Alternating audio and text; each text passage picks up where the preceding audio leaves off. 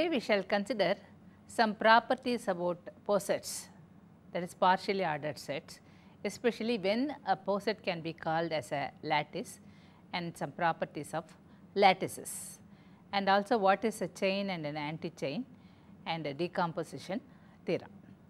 So, let us recall our definition about partially ordered set.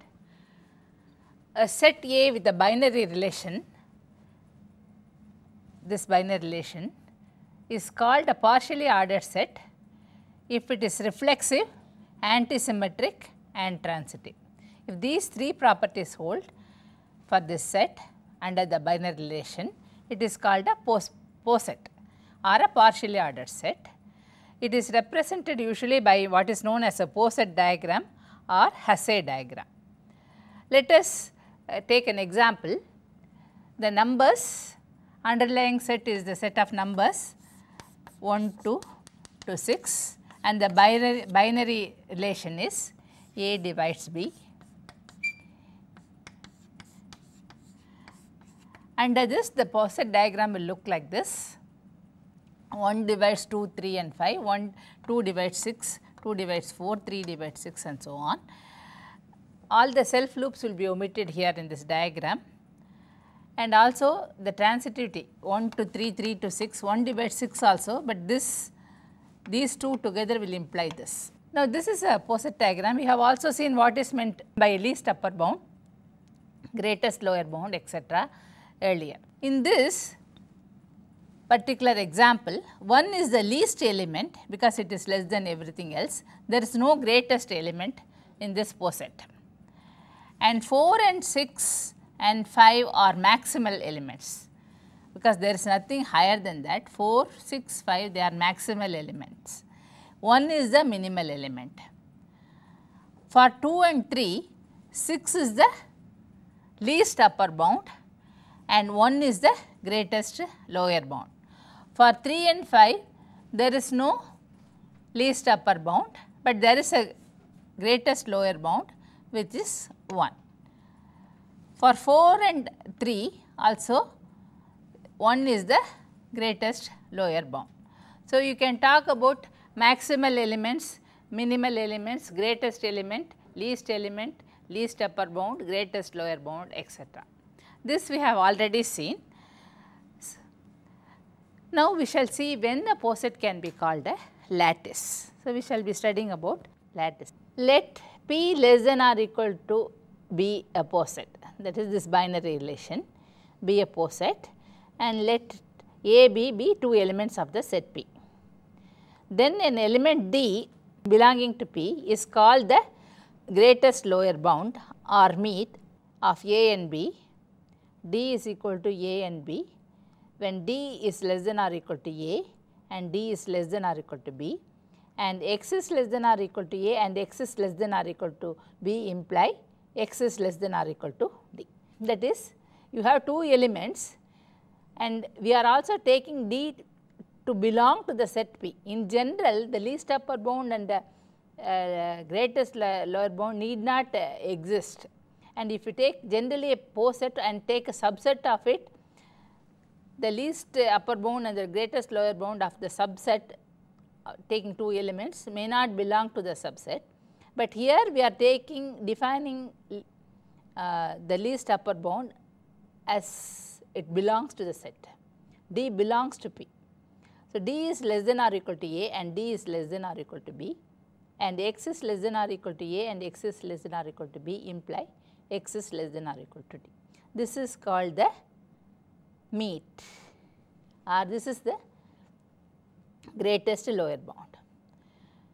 In a manner similarly, dually the element S belonging to P is called the least upper bound or join. Greatest lower bound is called meet, least upper bound is called join. And in symbols it is denoted as S is equal to A or B. If A is less than or equal to S and B is less than or equal to S and A less than or equal to X and B less than or equal to X imply S less than or equal to X. In this example as I mentioned earlier for 2 and 3, 1 is the greatest lower bound and 6 is the least upper bound. In any poset P, the meets and joins have designated values. So, I told sometimes the least upper bound and the greatest lower bound need not exist. So, if they exist then they will satisfy these laws. What are the laws? This is idempotent law x and x is x that is the meet of x and x is x, the join of x and x is x. The meet of x and y is the same as the meet of y and x commutative law. The join of x x and y is the same as the join of y and x. This you can very easily see. And this is associative law x join y, eh, I am sorry x meet y meet z is the same as x meet y meet z and x join y that is a join of x and y along with z. We take the join operation. That is the same as taking x and using the operation join along with y join z. These are absorption. X and xry is equal to x and x r x and y is equal to x. Here this is meet operation, this is join operation. So, x meet x join y is equal to x or x join x meet y is equal to x. These laws will automatically hold if the meet and the join exist. They need not exist, exist in some cases. Let S be an arbitrary subset of the poset S. So, you are not taking the whole set of element, but a subset S. Then the greatest lower bound S of that subset means A is less than or equal to A x for all the x and if there is any other element nu less than or equal to x for all the x in S, that means nu will be less than or equal to A. That is any other lower bound is less than this greatest lower bound. This A is the greatest among all the lower bounds that is what it means. Now, we will come to the definition of a lattice. A lattice is a poset in which any two elements A and B have a greatest lower bound called the meet and a LUB called the join of ARB. So, if you take any two elements A and B, it has got a meet or the greatest lower bound which is denoted like this and it has got a join or LUB which is denoted like this. Let us consider some examples. Consider these examples. First of all, if you look into this example, this is not a lattice. The reason is if you take three, these two elements, they do not have a least upper bound. The least uh, upper bound should exist and belong to the set. If you take these two, there is no least upper bound for this. Consider these examples, are they lattices? Let us check whether they are lattices. Look at the first one which is denoted as M5. If you take these two elements, this is the least upper bound and this is the greatest lower you take these two elements, this is the least upper bound and this is the greatest lower bound. Take any two elements, you will find that there is a least upper bound and a greatest lower bound. So, this is a lattice. Look at this one. If you take any two elements, they have a greatest lower bound and a least upper bound. If you take these two again, it, they have a greatest lower bound and a least upper bound. This is also a lattice. This is denoted as 2 cubed and also you can uh, consider it as a power set of the set consisting of 3 elements. look at this, this is a, again a lattice. This later on we shall see is this is a distributive lattice whereas these two are not distributive lattices. Here again if, you take two elements, they will have a least upper bound and a greatest lower bound. Look at this, these two elements they have a greatest lower bound. But what about the upper bound? This is an upper bound for them, but this is also an upper bound. The least upper bound has the property that any other upper bound should be greater than that or the least upper bound should be less than or equal to the any other upper bound. That is violated here because this is not less than, they are incomparable. You cannot compare this with this and apparently it has got two least upper bounds which is not possible. The lattice the least upper bound and the greatest lower bound if they exist they should be unique by the definition. So, here because of that again if you take these two elements they seem to be having two greatest lower bounds which is not possible. The greatest lower bound should be unique. So, here you are having two of them competing for the, that and none of them will satisfy the condition given in the definition. So, this is not an example of a lattice whereas the other three are lattices. Consider this one, it represents the power set of uh, 3 elements. Let us consider the power set of a set consisting of 3 elements say A, B, C. The poset diagram will look like this, the empty set A, B, C,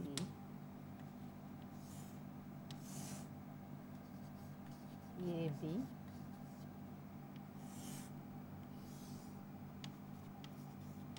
B, C,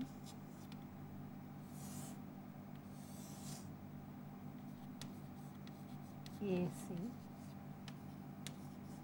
then A, B, C. This is what we have seen as 2 cubed earlier. We can see the correspondence. This is the empty set. A, B, C, then this is empty set, this is A, this is B, this is C, this is AB, this is BC, this is CA and this is ABC. You can see that this is a lattice because if you take any two elements, it will have a least upper bound and a greatest lower bound. Any two elements you take, it will have a least upper bound and a greatest lower bound. So, this forms a lattice. What are distributive laws? The dis if it satisfies also the distributive laws, there are two distributive laws. We saw that any lattice these 4 conditions will be satisfied. These 4 conditions L1 to L4 will be satisfied in any lattice. But what about the distributive laws? x and y are z equal to x and y are x and z or x meet y join z equal to x meet y join x meet z and a dual law. Let us see whether such a thing is satisfied in the examples which we consider. If you take this example, the distributive laws will be satisfied. Let us take this example and this example and check whether the distributive law will be satisfied. Take this example.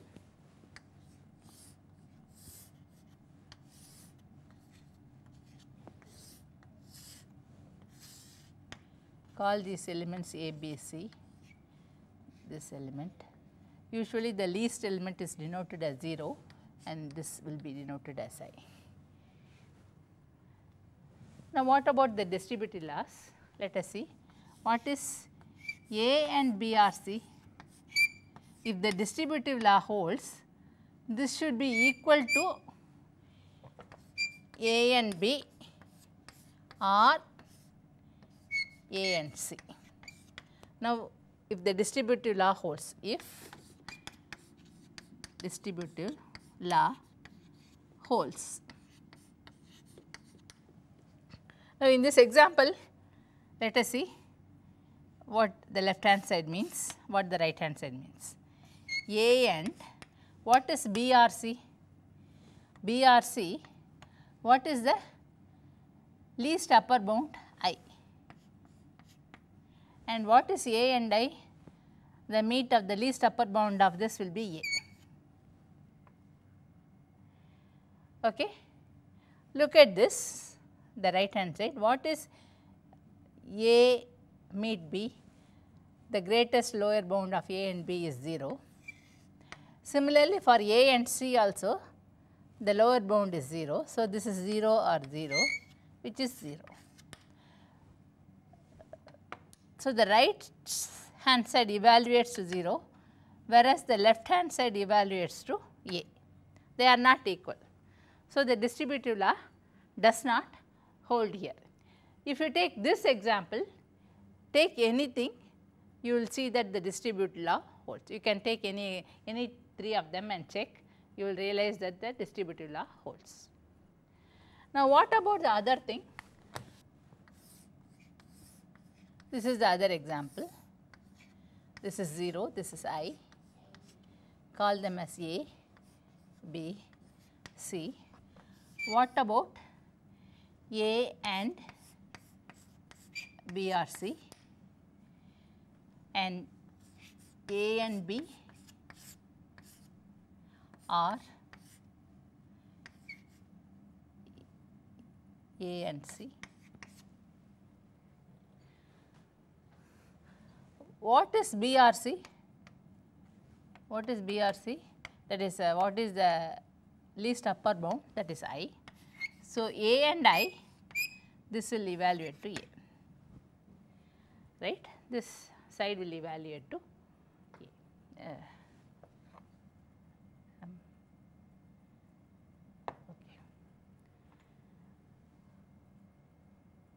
What about this?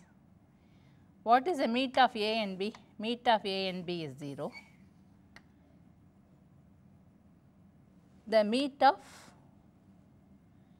A and C, A and C is C and the greatest the greatest uh, upper bound or I mean the least upper bound of R is least upper bound. So, 0 and C if you take it is C. So, the left hand evaluates to A, right side evaluates to C, they are not equal. So, the distributive law does not hold here, this is not a distributive. So, in the four examples which we consider, this is not a distributive lattice, but it is a lattice. This is again not a distributive lattice, but it is a lattice. This is not even a lattice, this is a distributive lattice. In general, a lattice is called distributive when it satisfies the two distributive laws. Otherwise, it is called non-distributive. The distributive laws are clearly hereditary from lattice to sublattice. Suppose we have a sublattice. What is a sublattice? We have seen what is an algebra and what is a subalgebra. We have seen what is a group, what is a subgroup and so on. Similarly, for a lattice you can define a sublattice and if the original lattice is distributed the sublattice will also be distributed. If you take the power set of a set U that will be a distributive lattice because for subsets union and intersection the uh, distributive laws hold for them. In any lattice, the semi-distributive laws x and y are z greater than or equal to x and y or x and z. Actually, this means meet and this is join and this again is less than or equal to this. They hold and if one of the distributive laws holds, the other will automatically hold. Let us consider this alone the first alone, the other one is similar. we can see that x is greater than or equal to x and y, x is also greater than or equal to x and z. So, x will be greater than or equal to the join of them and if you take y join z, y is greater than or equal to this, z is greater than or equal to this. So, y join z will be greater than or equal to the join of these two that is the lower this is again greater than or equal to these two, this is again greater than or equal to 2. So, if you take the meet of them that will be late that will be again greater than or equal to this or this is the greatest lower bound of these two because this is a lower bound, this is a lower bound, the meet will be again a lower bound. Next we shall see in any distributive lattice A, A meet x and A meet y and A join x equal to A join y together they will imply x is equal to y. We have the meet of A and x is the same as the meet of A and y and the join of A and x is the same as the join of A and y. In a distributed la la uh, lattice these together will imply x is equal to y. We can also state it like this. The because of commutative you can say x and a is equal to y and a instead of saying a and x equal to a and y that is this is re really represents the meet of x and a this represents the meet of y and a. Similarly, you also have x r a equal to y r a. With this you have to show that x is equal to y. How do you show that? You can write x like this because of the first uh, four laws we studied x can be written as x r x and a and instead of the meet of x and a we can put the meet of y and a. We know that these two are equal. So, when you write like this you can expand using the distributive law. The distributive law holds because we are considering a distributive lattice. So, because the lattice is distributive this is equal to the join of x and y with the meet operation on this end, the join of x and a. Because of commutativity you can change x or y to y or x and we know that this is the same the join of x and a is the same as the join of y and a. So, this can be replaced by this. Now, applying the distributive law in the reverse the other direction this can be written in the form y join x meet a. But we know that x meet a is the same as y meet a. So, this can be replaced by this. So, we get from this we get this and we know that because of the first uh, rules this will be the same as y absorption rules. So, we starting with x we have arrived at y and we have come to the conclusion that x is equal to y. So, this lemma holds that is in any distributive lattice if the meet of a and x and the meet of a and y are the same and the join of a and x and the join of a and y are the same that means x is equal to y. Some more uh, results in a distributive lattice L a given element can have at most one complement. Now, what is a complement?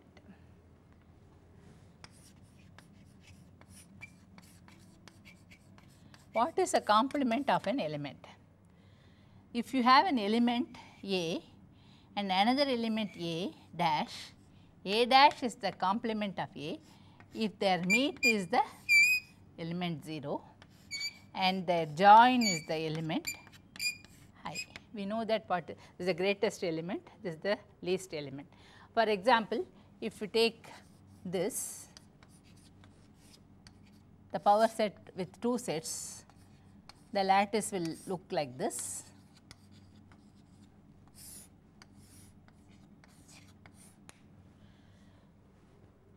This is the complement of this because the meet of this is this and the join of this is this is i really then this is 0 you denote.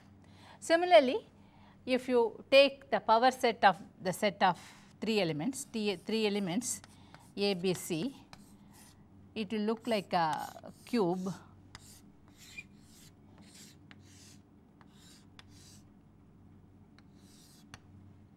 So, this is the empty set and this is A say A, this is B, this we have already drawn C and so on.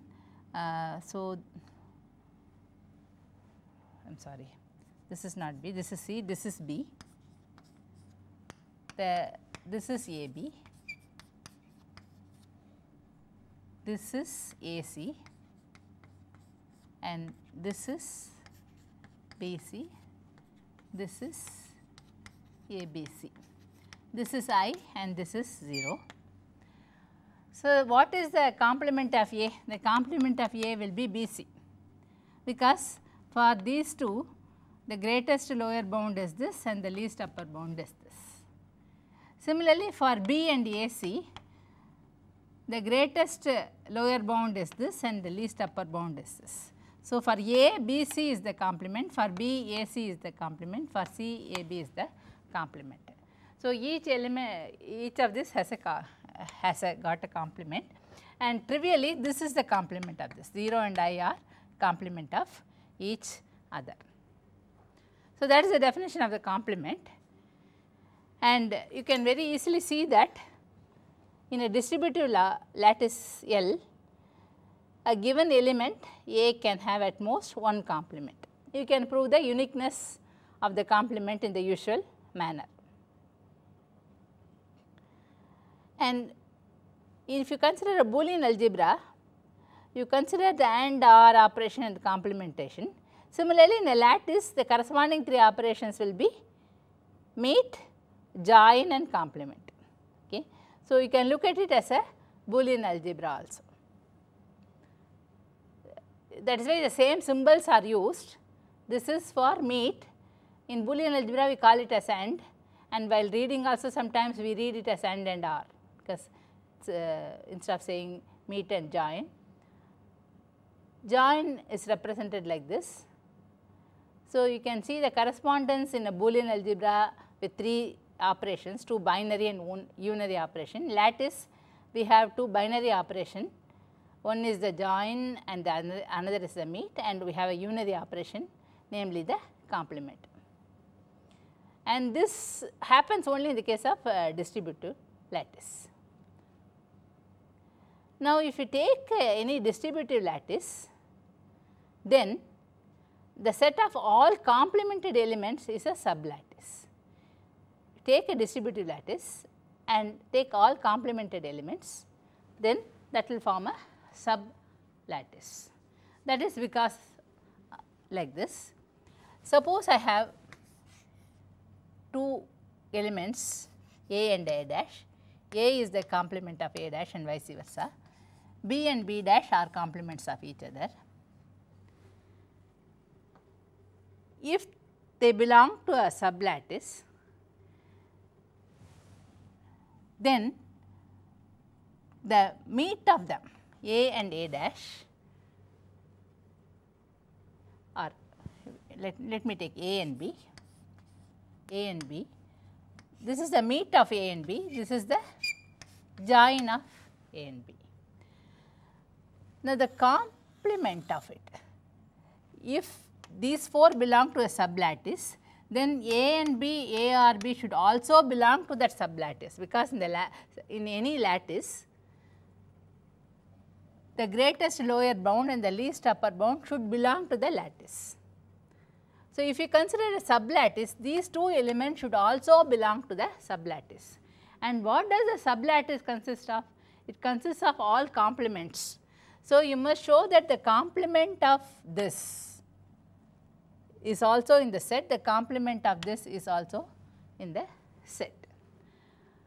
Now, take A and B and Consider this. What about the meet of this, expand this, it will be A and B and A dash or A and B and B dash. Now, what is the meet of A and dash that is 0. So, the whole thing will be 0 and this will also be 0. So, the whole thing is 0. So, if you take this element and this element the meet of that is 0 and if you take A and B or A dash or B dash you will realize that this is A or A dash or B dash and B or A dash or B dash. This will be I because A or A dash is I. Similarly, B or B dash is I. So, this is I and I equal to I. So, you realize that this and this are complements of each other. And you can also see that A or B and A dash and B dash are complements of each other. So, the complement also belongs to the set.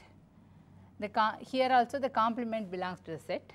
So, they will be in the sublattice defined by the set of complemented elements. That is what this lemma says. In any distributive lattice, the set of all complemented elements is a sublattice. Of course, i and 0 will be in the sublattice, they are special elements and they will be in the sublattice also. These are some of the results about lattice and distributive lattice. Next, we shall see about chains and anti-chains and the decomposition theorem. Let A less than or equal to be a partially ordered set. A subset of A is called a chain if every two elements in the subset are related. Note that because of antisymmetry and transitivity, in any chain with a finite number of elements A1, A2, AK, there is an element A1 that is less than every other element in the chain. There is an element A2 that is less than every other element except AI1 and there is an element AI3 that is less than every other element except AI1 and AI2 and so on. Look at this example, this is a poset and A is the least element here and G is the E is the greatest element. You see that A, B, C, D, I am sorry, A, B, C, E is a chain, A, D, E is another chain. Here in this chain, A is smaller than all the other elements, B is smaller than C and E but not A, C is smaller than E it is smaller than every, every other element except A and B and so on. Similarly, you look at this A, D, E, it is a chain.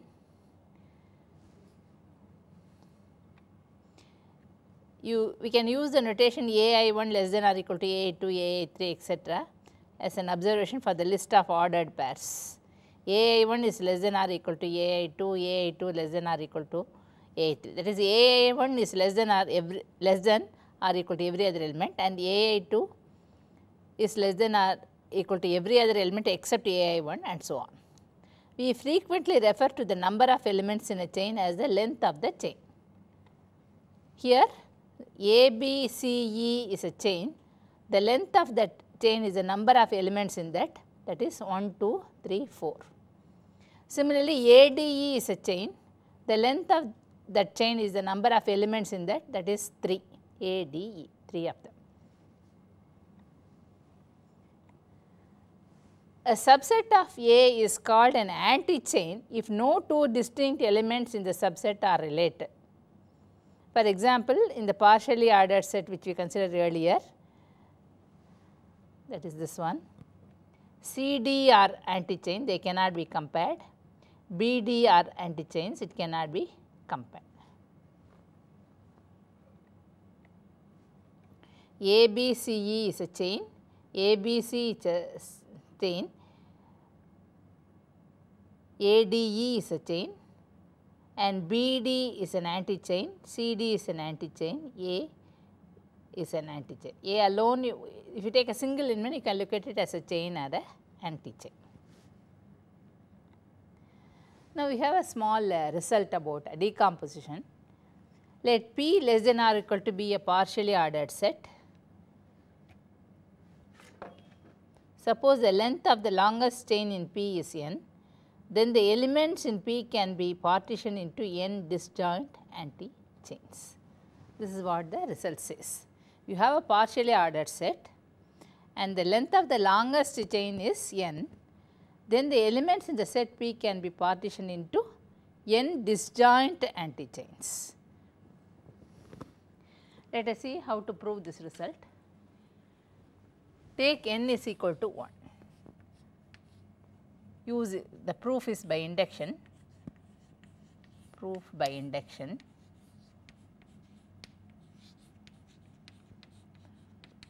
So, the basis part of it is this n is equal to 1 that is you have a poset like this. The length of the longest chain is 1 means the poset will be like this. No two elements can be compared. Now, this whole set is an anti-chain. So, the whole thing, thing is in a block in the partition, it is one anti-chain. So, the result holds for n is equal to 1. Then the induction step is like this.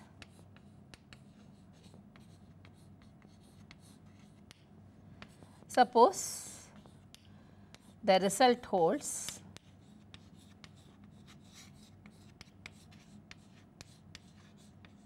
for n minus 1.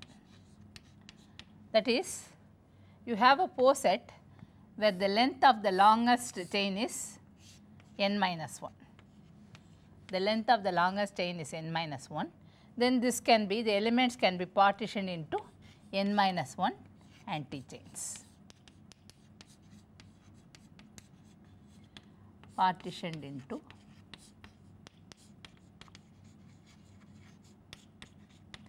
Suppose this holds, then prove for n.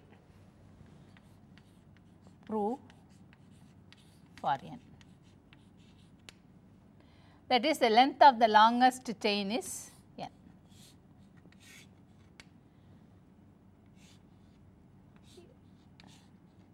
You may have more than one chain.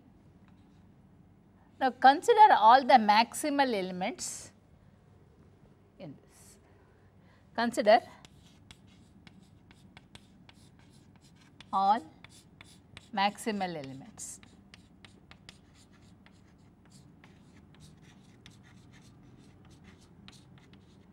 Here the length now you have taken the length of longest chain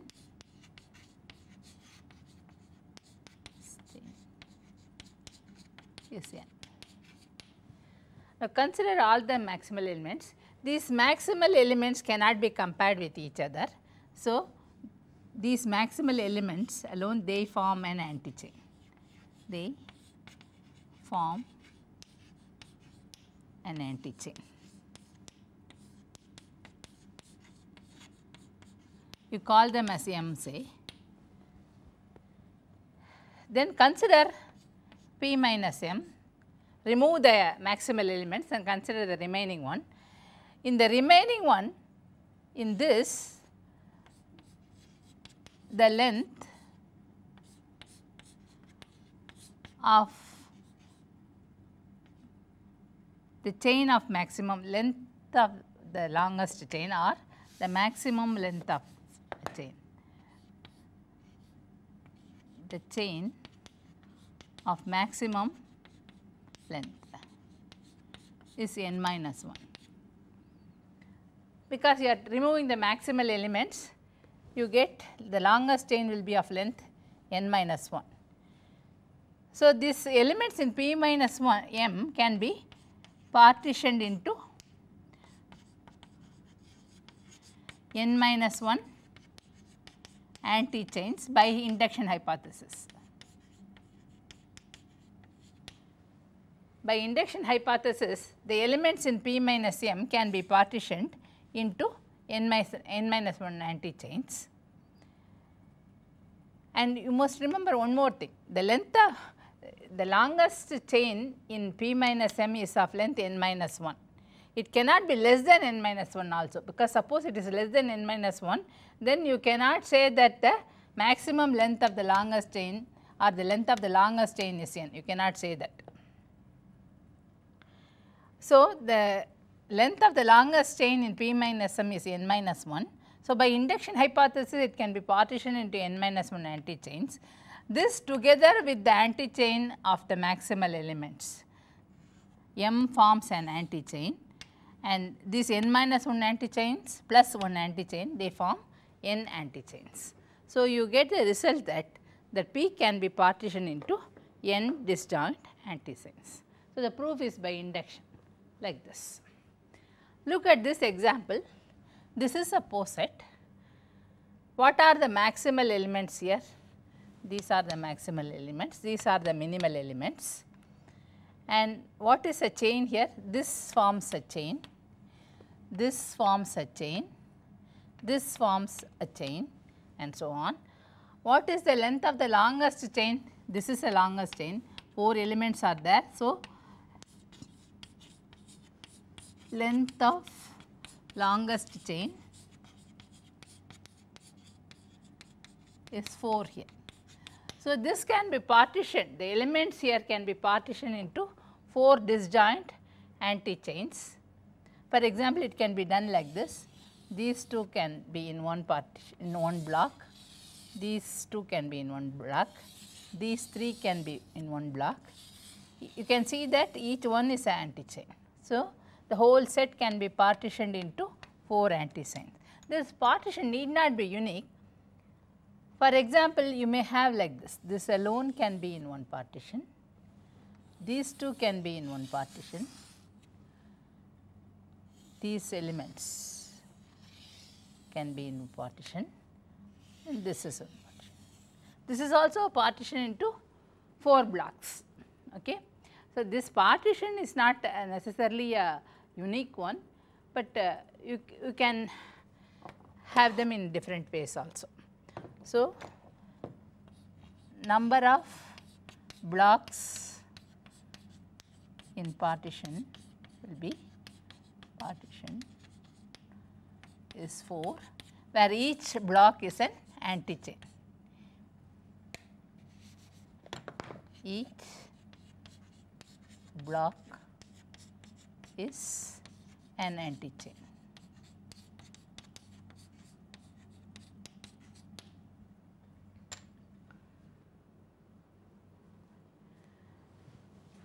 Now, following that we get this result. Let P less than or equal to be a partially ordered set. It has got mn plus 1 elements, where m and n are integers. Then either there is an anti-chain consisting of m plus 1 elements or there is a chain of length n plus 1 in P. Consider the longest chain in this, if it is of length n plus 1 or more, the result automatically holds.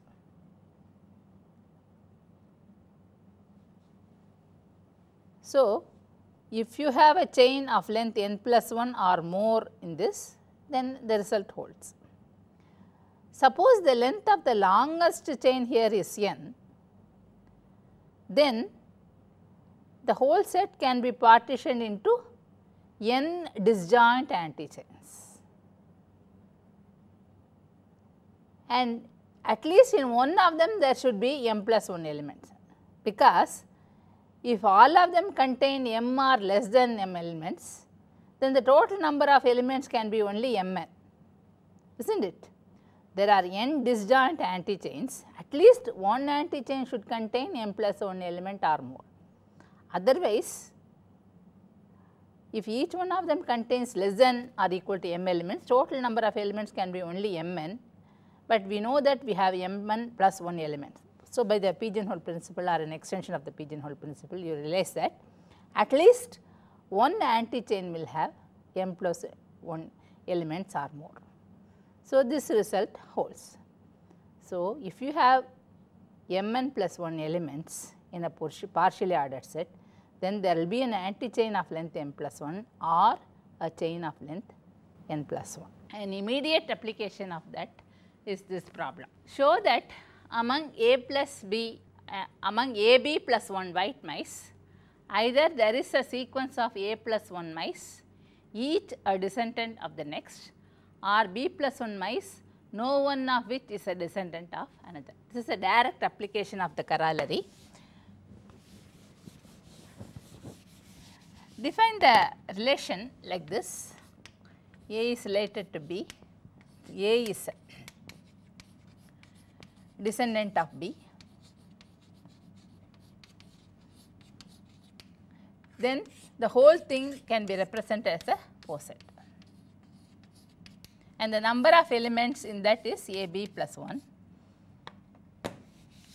So, by the corollary, you will have a chain of length A plus 1 or anti-chain of length B plus 1 by the direct application of the corollary. What does it mean? If you have a chain of length A plus 1, you have like this. That means this is a descendant of this, this is a descendant of this, this is a descendant of this and so on. So, you have A plus 1 mice, each a descendant of the next. Or you have B plus 1 mice, no one of which is a descendant of the another. If you have a chain, this is the result. One is the descendant of the other and so on. If you have an anti-chain of length b plus 1, there are elements b plus 1 elements which cannot be compared with any other. That means neither one this is the descendant of the other or this is the descendant of other and so on. No two are related in any way by the descendant relationship. Okay. So, the result follows.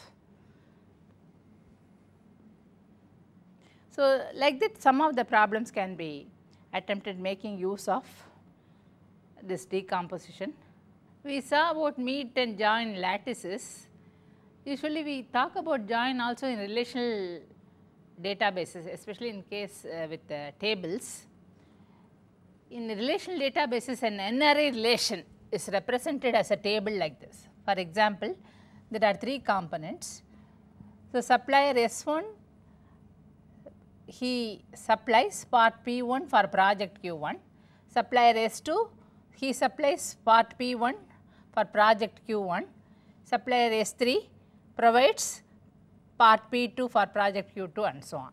So, this is an n-ary relation, this is a ternary relation and it is represented as a table. For example, call this table as pi.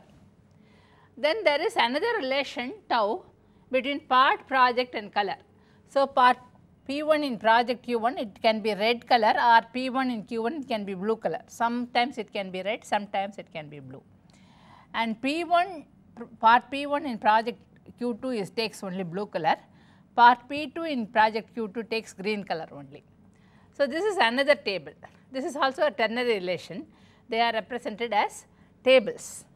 Now, you talk about the join of these two, join of the two tables or two n-ary relation which is called uh, usually you use the star symbol for that it is called a join operation the two tables are joined together. Now you know that S1 supplies P1 for Q1 but P1 Q1 have two possibilities red and blue. So you have like this S1 P1 Q1 red and S1 P1 Q1 blue. And similarly S2 provides P1 for Q1. So, again you will have S2 P1 Q1 red, S2 P1 Q1 blue and S3 provides P2 for Q2 and P2 for project Q2 takes green color only and P1 for project Q2 takes blue color only. So, you have only one row for each one of them. So, when you combine a ternary relation pi with another one tau, pi has 4 rows, tau has 4 rows. When you use the join operation, you get 6 rows or 6 relations here. There are, it is a 4 quad, uh, quaternary relation or each relation is represented by a 4 tuple here. There is also another operation which is called a projection operation. For example, here you have 3 components here in each relation supplier, part and project. You are interested only in finding out which supplier provides which part, you are not bothered about for which project it is provided. Then you have to only consider the projection of this relation that is the first two components only you are interested. Now you find that when you project it on the first two columns, this and this are the same, is not it? So, you need not have to repeat that S1 P1, S2 P2, S3 P2. You do not have to repeat this because it is already there. So, when you project you may get less number of rows. The projection of the table pi on the first two columns 1 and 2 is S1 P1, S2 P1, S3 P2. So, you will get less number of rows in this case. Projection also you can also look at it this way. When you have a 3 dimensional object or when you have a point in 3 dimension it has got 3 coordinates. When you project it onto a plane it has got 2 coordinates. When you project it on one axis it has got only one coordinate. Like that you have more number of columns in a relation. When you project onto some of the columns you will get less number of rows like that. Less number of columns of course, less number of rows also. Join when you combine the 4 and 4 at the most you may get 4 16 rows or something like that, but in this case it so happens that you are getting only 4 uh, only 6 rows and 4 columns in the join operation. This join operation is different from what we consider in the lattice as join though the same name join is used. So, these are some facts about relations, partially ordered sets, lattices, chains and anti-chains. In this course on discrete mathematics, we have considered uh, several topics. The topics which are covered are logic, sets, relations, graphs, functions, combinatorics, recurrence relations, algebras and FSA. These topics will be very useful when you learn about other uh, topics in computer science. This is a beginning and later on when you learn about compiler design, database theory, artificial intelligence, subjects like that, the use of all these uh, topics you will understand. It is like a zigzag puzzle, the whole course on computer science is a, like a zigzag puzzle. Initially you put some of them and then the whole picture will come clear to you only when you finish the course. So, the use of all the topics which were covered in this course you will understand only when you finish the course because you will find the application in many other fields in computer science. This subject can be very well understood by working out a number of problems. For that we have suggested a number of books. The reference books are Elements of Discrete Mathematics by Liu, Discrete Mathematical Structures with Application to Computer Science by Tremblay and Manohar, Discrete Mathematics in Computer Science by Stanat and McAllister, Discrete Mathematics and its Application Kenneth Rosen, Logic and Discrete Mathematics Grassmann and Tremblay, Introductory Combinatorics by Brualdi, Modern Applied Algebra by Birkhoff and Bartee, Mathematical Theory of Computation by Manna, Introduction to Combinatorial Mathematics by Liu, Introduction to Automata Theory, Languages and Computation by Hopcroft, Motwani and Ullman and so on. These are not the only books, there are so many other books on discrete mathematics. select the proper book or the book prescribed by your university and try to read from that books along with these lectures and try to work out as many uh, problems as possible which will help you to understand the subject clearly.